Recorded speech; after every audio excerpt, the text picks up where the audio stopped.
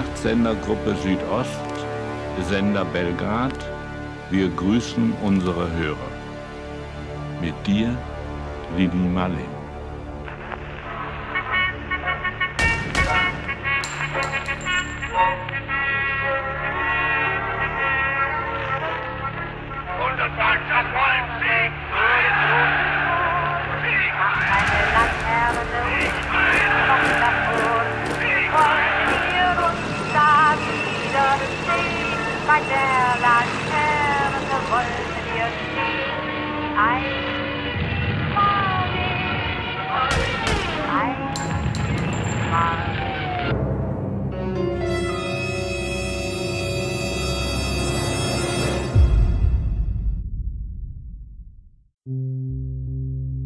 Nemačka četvrta vazdušna flota je određena da izvrši operativni plan sa kodnim imenom Strašni sud. Za ovaj zadatak je na aerodromjima Beča, Graca, Pečuja i Jarada prikupljeno oko 880 aviona, od kojih su trećinu sačinjavali dvomotorni bombarderi Henkel He-111, Dornier Do-17 i Junkers Ju-88, kao i jurišni jednomotorni bombarderi Štuke – i lovci tipa Messerschmitt 109. U prvom najsnažijem napadu talasi od 160 bombardera i 74 štuke sa lovačkom pratnjom od 120 Messerschmitta smenjivali su se nad nebom Beograda više od dva časa. U ovom bestijalnom teroru na grad je bačeno oko 200 tona bombi. Ono što u svim opisima ovog nasilja pronalazimo jeste podatak da su građane do izluđujuće panike dovodile štuke, koje je morbidni nemački konstruktor opremio naročitim sirenama, koje su pri obrušavanju letelice stvarale nesnosnu buku. Sirene behu postavljene ispod kabine pilota i ovo je valjda jedini avion tog doba koji je imao ovako bizarnu nadogradnju, osmišljenu da psihički, pa tek onda fizički raznese žrtve na tlu. U toku dana je izvršeno još tri napada. Drugi je bio između 10 i 11 časova sa 57 štuka i oko 30 lovaca. Treći napad se odigrao oko 14 sati od strane 94 bombardera sa 60 lovaca u pratnji. A četvrti udar odigrao se u sumrak, a izveden je sa 99 aviona štuka i 60 lovaca. Ja često zamišljam tu, tu scenu noć između 6. i, i 7. aprila. Beograd osvetljen, osvetljen požarima, e, nad gradom koji niko nije branio, kruži zamislite 16 ili ne znam 19 e, bombardera nacisti gađaju grad ispod sebe u poligonskim uslovima. Ovoliko nasilje i mržnju teško je zamisliti, teško je ilustrovati. Na zapadu Jugoslavije se od, u tom vremenu, u isto to vreme od, odigrao jedan sasvim ovaj, drugačiji scenario i jedan drugačiji film. Uh, trupe Rajha, to znamo svi, to ponavljamo ne bez razloga, u Zagrebu dočekuju sa ne tonama bombi, nego tonama cveća, od istog onog naroda, naših komšija, neko kaže i braće, koja je 23 godina ranije u istom tom Zagrebu demonstrirala u stotinama hiljada želeći ujedinjenje sa Srbijom i stvaranje Jugoslavije. Hrvatska, odnosno Hrvati su ušli u Kraljevinu SHS, odnosno u Jugoslaviju, bežeći od eventualno talijanske okupacije. E, onda su obje ručke prihvatili Jugoslaviju i nikad je nisu doživjeli kao svoju zemlju. Uvijek su nastojali da iz nje iziđu i da iz e, gubitnika u ratu, jer su sudjelovali na strani Austro-Ugarske, jeli, e, da postanu pozitivne ličnosti, pobjednici. Tokom čitavog postojanja Kraljevine Jugoslavije razvijao se taj e, hrvatski separatizam.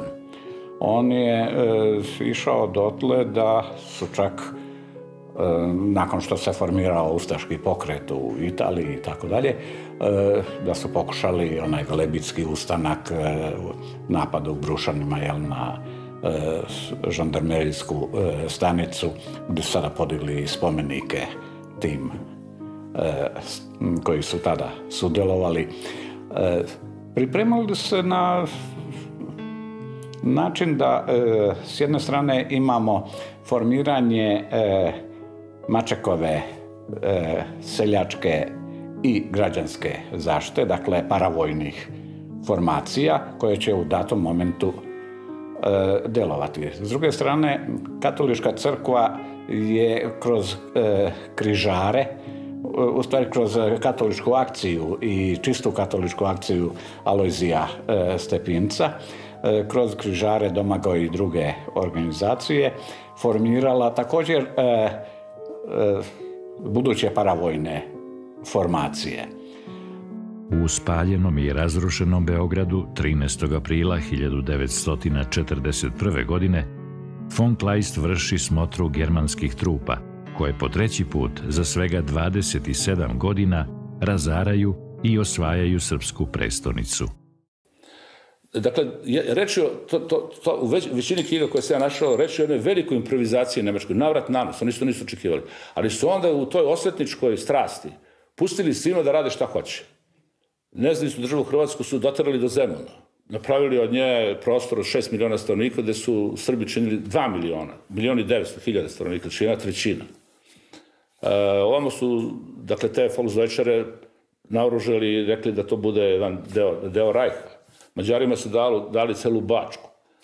Bugarima su dali ne samo Makedoniju, nego istočne delove. Albancima su dali sve tamo do Mitrovice i tako dalje. Znači, to je jedna grabež bio ovaj, da je to prosto bilo neočekivano. Nije bilo planova. Mislim, bar ne postoje dokazi da ih je bilo. Spremnost da se uh, velikom brzinom donose velike odluke jesu odlika uh, velikog nemačkog uh, naroda, pa ako hoćete i Wehrmachta, naravno. I slom Jugoslavije bio je potpuno ne, neminovan. Da li je postojao plan da se, da se ona kasnije razdrobi na, na, na sitne činioce, mi to danas ne možemo da tvrdimo, ali je vrlo verovatno da bi se to desilo. Međutim, ono što, da se mi vratimo na našu temu i stradanje Beograda i uopšte Rajha, na temu Rajha u Beogradu, E, malo, malo se zna da je teo tog 6. aprila kada je počelo krvavo razračunavanje sa Beogradom i Hitler poranio. I on je već u 6 sati ujutru urlao preko svog nacionalnog radija i dramatičnim tonom je on objašnjavao kako se kon, kako je konačno eto, objavio rat Verolonom, Vero, Verolonom Beogradu, kako u srpskoj oficijskoj klik, kliki konačno treba doći glave.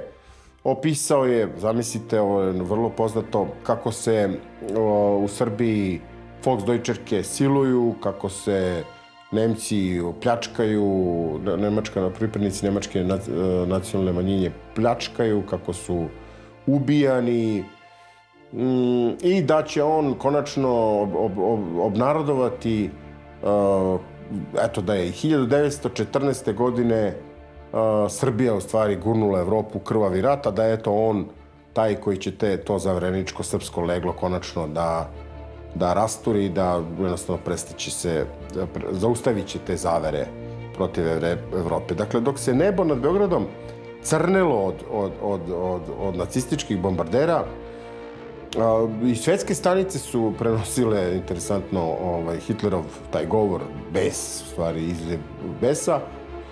A radio Beograd je puštao muzike, muziku, tako neku laganu muziku, ne prenoseći apsolutno ništa. Dakle, mnogi, mnogi hiljade naših građana su, nažalost, spavale.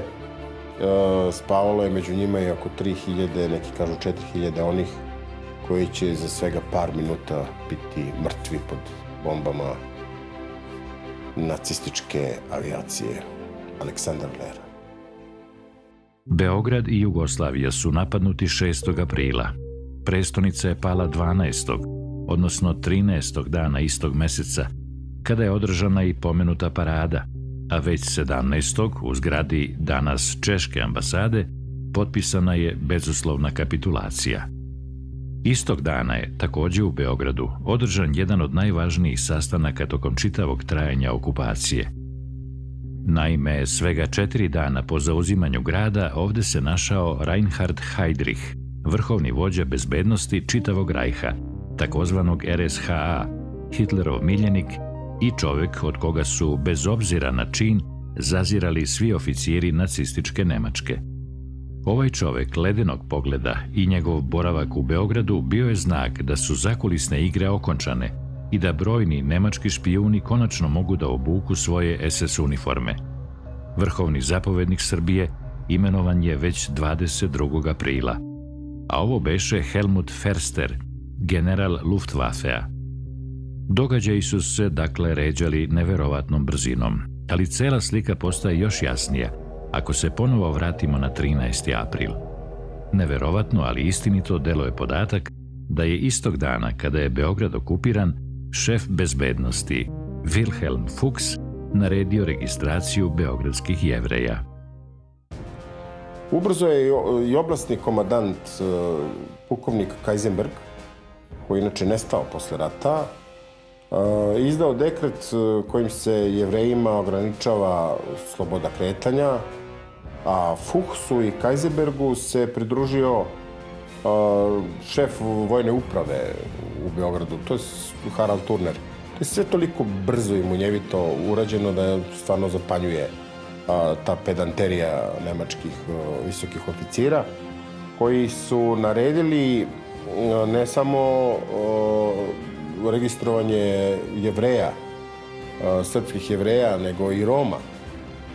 I to na teritoriji, rekao smo, čitave Srbije.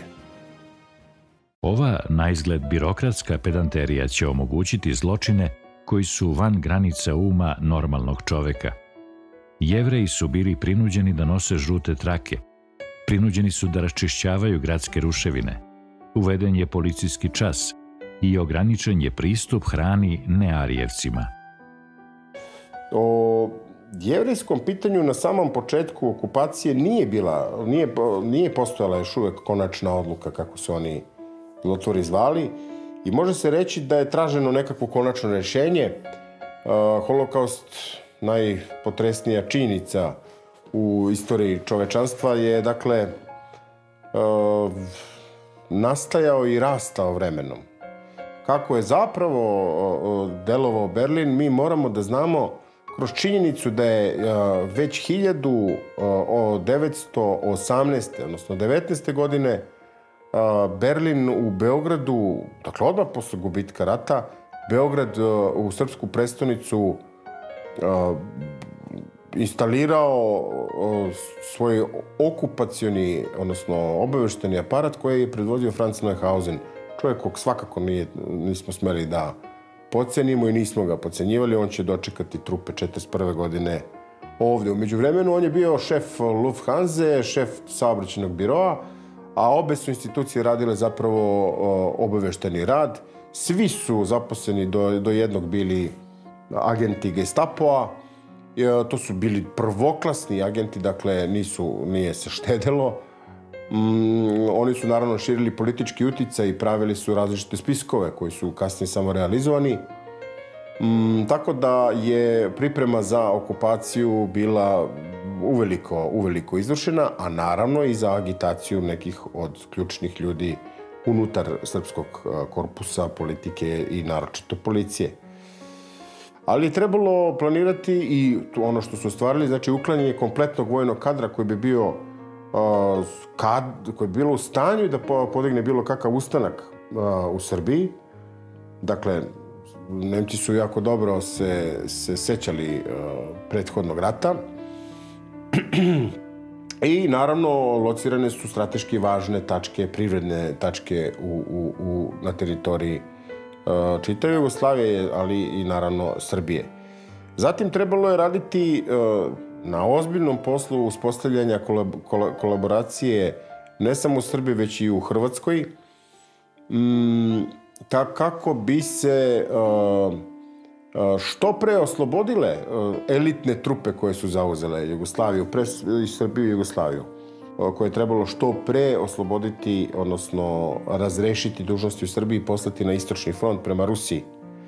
U tom smislu je trebalo pacifikovati Srbiju pod hitno, obezberiti mirne komunikacije mm, i zato je u Beograd, odnosno u Srbiju dovedeno, dovedena jedna, kažemo, grupa policijsko-vojna koja nije bila da kažemo, u prvo, u prvo vreme ni, ni kadra da se suprostavi prvim ustancima koji su, ili ustanicima koji su vrlo brzo krenuli u akcije. Ne e, mali problem za Nemce u Beogradu, za Rajh u Beogradu, predstavljaju smeštaj toliko, tolike ogromne količine trupa. Za potrebe Rajha u Beogradu su rekvirirani hoteli Bristol, Majestic, Astoria, Zanatski dom, Kumanovski pobednik, zatim hoteli Pošta, Splendid, Stari Balkan, Beograd, Royal, Prag, Excelsior, ali i tri kasarne na Dedinju, kao i dvadesetak vojničkih domova, kasina smeštenih u zgradama predratnih institucija. Uz pomenute zgrade i ustanove, treba reći da je spisak rekviriranih zgrada bio takav da bi lakše bilo popisati državna zdanja koja nisu bila u službi Rajha, koji je u gvozdenim kanđama držao Beograd. Hotel Palas, kao i ruski car, će ubrzo postati kabareji za uveseljavanje okupacione vojske, a sinagoga u ulici Maršala Birjuzova pretvorena je u javnu kuću. Ali Beograd je bio, zašto je bio važan? Zato što je Beograd, on je važan svima od svih ranih vremena, ovamo Turska, ovamo, ne znam, Austro-Ugrska, ovamo, ovamo, ono. Beograd je raskrsnica jednog dobrog, da kažemo, čvorišta Evrope, ja bih rekao, ne samo Balkana. I ko ima Beograd, ima gotovo sve. Tako da je on bio bitan. I ekonomski, i vojno, i tako dalje. Ako se još nanovo događa i stave u kalendarski poredak, stvaranje NDH deluje kao brzo potezna kazna za beogradsku prevaru, kako je Hitler nazivao Simovićev puč, jer svega četiri dana po napadu na Jugoslaviju stvorena je država koja se prostirala do Beograda. Država koja je imala skoro 6 miliona stanovnika. Država kojoj je na račun Srba sve bilo dozvoljeno. Ako postoji išta gore od ratova, onda su to građanski ratovi, koji su po pravilu i religioznog karaktera. To su klanice koje su od pamtiveka vođene u ime više sile, odnosno Boga. Nacisti su dobro znali za separatističke težnje Hrvata, koji su istina bili bliži Mussoliniju, pa ipak posle 27. martovskog puča kavez ustaške zveri je otvoren i lov na Srbe je mogao da otpočne. Ustaše su bile više vezane za Italijane, ali e, tu postoji e, nešto poslije kod e, određenih talijanskih, recimo Malaparte i ostali, e, kažu da reći za Ustaše da su fašisti bio bi kompliment. Jer da, kako to i Srđa Trifković piše, a citirajući Aleksu Đilasa, nisu bili dorasli ni jednom izmu svoje Europe, svoje epohe, ni jednom izmu moglo bi se nazvati, e, on to naziva native fašizm, e, kao samorodni e, fašizam. U stvari, Ustaše su jedna kombinacija ekstremnog nacionalizma koji prerazi u šovinizam protkan klerikalizmom. Tako da, da je on jedna sasvim drugčija građevina od fašizma i od nacizma. S jedne strane, e, nacizam je e, u biti antiklerikalan. Oni e, razvijaju svoju, da kažem, religiju, iako nije po definiciji to religija, ali svoju, svoju nekakvu religioznu viđenje sveta, a Ustaše su izdanci ekstremnog katoličkog prozelitizma. Naročitu ulogu u uspostavljanju Trećeg rajha na teritoriji Srbije imala je nemačka nacionalna manjina, okupljena u organizacije Kulturbund, koja je pre rata redovnim letovima Lufthansa za Beograd snabdevana nacističkim propagandnim materijalom. Srpska predratna policija je pomno pratila navodno nepolitičku organizaciju, ali niko ništa preduzimao nije. Na posledku, Kulturbund sa dolaskom nemačkih trupa postaje stožer Volksdeutschera, koji su se u ogromnom broju stavili pod zastavu voljenog rajha. Nemačka nacionalna manjina je bila e, veoma brojna e, u Vojvodini i u istočnoj e, Slavoniji. Bila je organizovana kroz Kulturbund, organizacija Deutsche Mannschaft poslije i, i tako dalje. Vodstvo, vodstvo te nacionalne manjine bilo je pod snažnim uticajem nacističke Nemačke, odnosno te nacističke ideologije i e, nacističke politike. Tako da su oni e, 41. bilo potpuno na e, toj strani. Recimo, e, bila je u japanskoj ambasadi ovdje radila e, gospođa Akiko Shimizu, koja je doktorirala u Nemačkoj na e, Nemačkoj e, okupacionoj upravi Banata. I između ostalih analiza dala je analizu e, sudjelovanja e, Nemaca, etničkih Nemaca u nemačkim vojnim formacijama. I e, dok e, u normalnim okolnostima oko 5% populacije je u vojnim formacijama, e, oko 14,5% nemačke populacije sudjelovalo je u SS jedinicama kao e, Prinz Eugen divizija ili policijske e, i druge jedinice. Dakle, to je strahovito veliko učešće. Kasnije polemike o revanšizmu nad e, Nemcima i njihovoj nacionalnoj manjini jednostavno bit će jasnije ako znamo da su Volksdeutscheri, odnosno njihov Kulturbund, a, toliko muljevito postali paravojna formacija da je to neverovatno. Oni su odmah po okupaciji Srbije, zap, za, za, Srbije započeli s ognjetavanjem dojučerašnjih komšija, uništavanjem a, a, Srba, Jevreja, a, dakle, oni nisu časili časa, a negde sam pronašao da ih je a, u toku rata bilo čak 40.000 u tim svojim a, matičnim organizacijama. Oni su bili, organizovali e, uprave, e, recimo Banat koji je ostao pod nemačkom okupacijom, ali ne samo u Banatu. Recimo u Sremu, koji je bio u nezavisnoj državi Hrvatskoj, u nizu gradova Volksdeutscheri su vršili upravnu vlast. E, I, pardon, i prvi e, zločin veliki Imate prvi onaj zločin u Alibunaru kada još e, jugoslavensku vojsku streljaju e, vojnike e, jer su otpor pružali, ali imate u Pančevu 22. aprila 1941. E, streljano je 18 i obješano valjda 18 i jedna žena stanovnika Pančeva. To su izvršili lokalni Volksdeutscher nacisti su razmatrali više planova i rešenja takozvanog jevrejskog pitanja. Po jednom projektu trebalo je izgraditi glavni centralni logor u okolini Sremske Mitrovice. Ovaj logor je trebalo da primi 50.000, a u kasnijoj fazi čak pola miliona logoraša, a kako je ovo premašivalo broj jevreja u regionu, sa jezom nagađamo čemu je trebalo da posluži ovoliki kapacitet. Međutim, bila je neophodna i politička struktura na kojoj su Nemci i Austrijanci radili predano, čak dve decenije pre aprilskog bombardovanja. Ovaj posao i pored razgranate mreže nemačkih agenata nije bio jednostavan, jer je sećanje na prvi veliki rat još uvek bilo živo, a Srbi generalno u istorijskom pogledu nikada nisu bili naročito naklonjeni Germanima. E, iskustvo Prvog svjetskog rata, a i pre toga ove, u Srbiji nije stvoreno neko jako jezgro germanofilstva. germanofilstva. Možda je bilo kod nekih akademskih, e, da kažemo, intelektualaca koji su studirali u Minhenu, Berlinu i tako dalje. Bilo je simpatija i mi znamo ko su ti ljudi, ali to nije, to nije važno sada da pominjamo njihove imena. Dakle, u masama, u, među ljudima, germanofilstva nije bilo.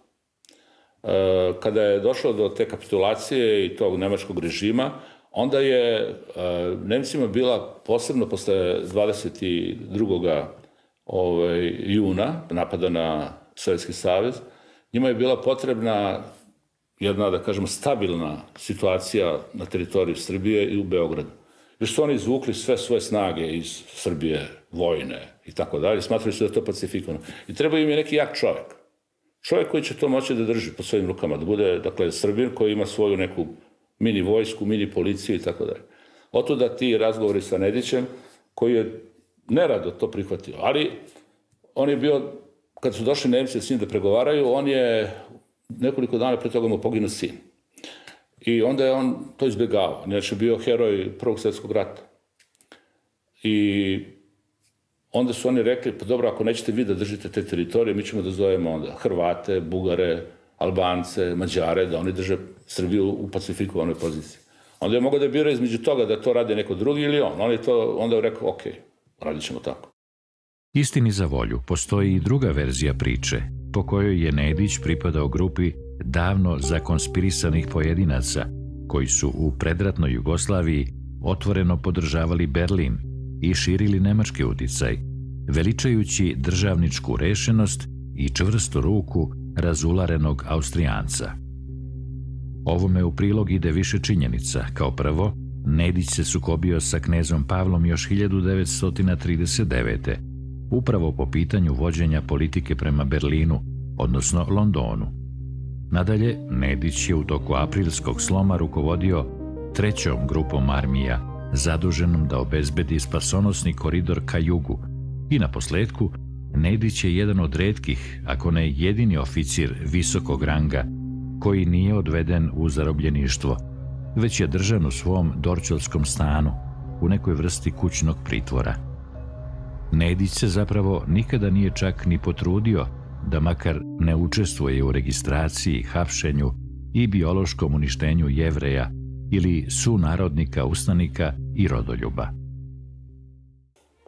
Ono što istoriju Beograda iz veka u vek e, čini e, posebnom je količina absurda koje, koje, koje se ovde dešavaju i koji nam jednostavno ne dozvoljavaju da nešto uh, potpuno i normalno razumemo.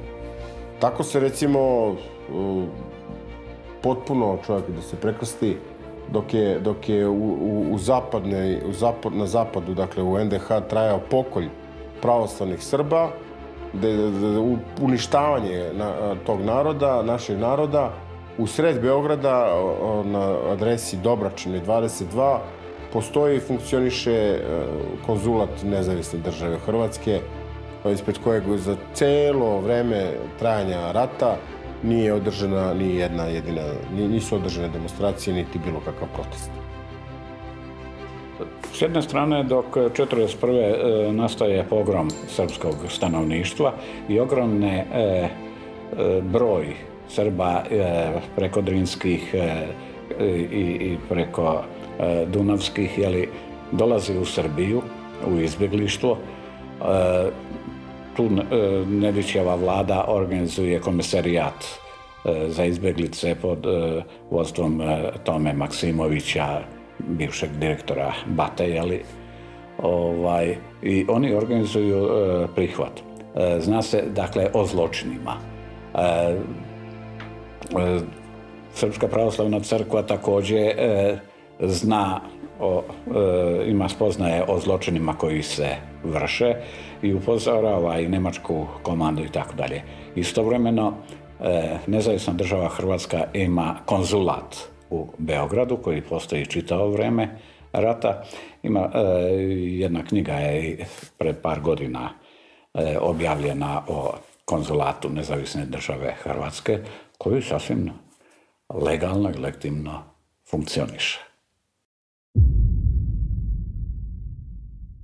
U narednoj epizodi serijala bavit ćemo se grandioznim okupacionim aparatom nacističkog rajha u Beogradu, kontroverznom kolaboracijom Srba i Srbije, Učestvovat ćemo u stvarnim akcijama beogradskih ilegalaca, ali i u građanskom ratu, čije posledice, hteli mi to ili ne, osjećamo i danas.